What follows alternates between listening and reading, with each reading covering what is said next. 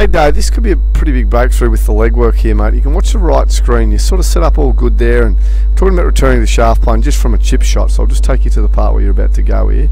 Up you go, and I want you to watch your right knee. Up you go. When you get transit to transition, it's been very hard for us to stop the body mass going forward, and it's still happening there a little bit, even on a little shot. And if you look at the knee, the knee on the right is coming forward, right, and starts to breach that line quite a lot, right. Um, which pulls the right hip down and we notice from front on pulls your left hip back and up. You're never actually able to transfer your weight fully. Um, if you look at the right screen, we just tried to feel like the knee never crossed the line.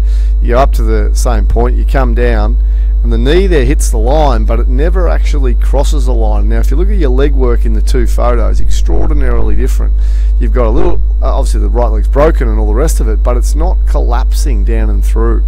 So I really want you to investigate this as much as you can over the next couple of days, working on hitting small impact zone shots, but with your right knee feeling like it doesn't cross the line. And uh, come back to me because um, yeah, this is this could be a big little breakthrough for you.